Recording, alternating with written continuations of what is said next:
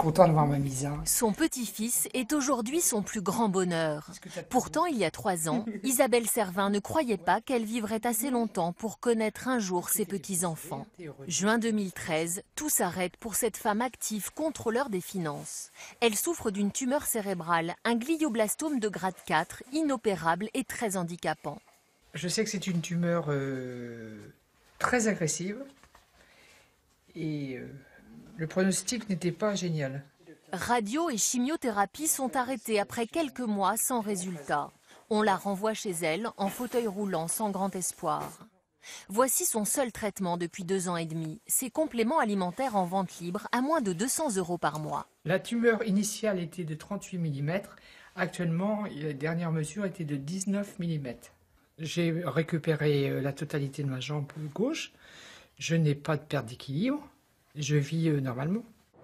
Elle a même repris le volant et se rend seule chez son médecin traitant. C'est lui qui lui a proposé ce traitement simple et non toxique. En mangeant trop de sucre, vous nourrissez vos cellules cancéreuses. Cette approche, c'est le traitement métabolique du cancer. Aider la cellule à digérer le sucre au lieu de le stocker pour grossir et se multiplier.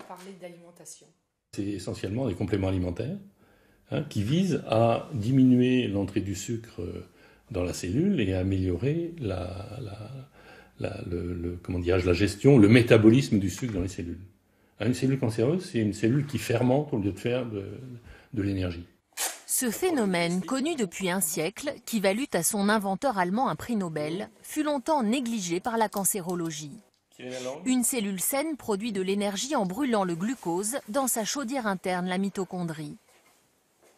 Dans la cellule cancéreuse, cette mitochondrie ne fonctionne plus.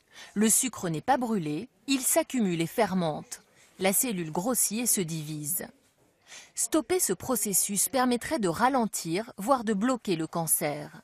C'est ce que suggère une étude sur 20 000 souris menée par ce médecin français. Nous avons permis aux cellules cancéreuses de rebrûler le glucose et c'est comme ça que chez les souris, la cellule tumorale ne pousse plus. Les malades disent un effet majeur euh, du traitement. Des publications américaines suggèrent la même chose. Cette phase de flou doit cesser et seuls des essais normés permettront d'affirmer ou d'infirmer l'efficacité du traitement. Je pense que j'ai beaucoup de chance ou euh, je suis une miraculée, je sais pas. Il y a quelque chose qui s'est passé qui est intéressant.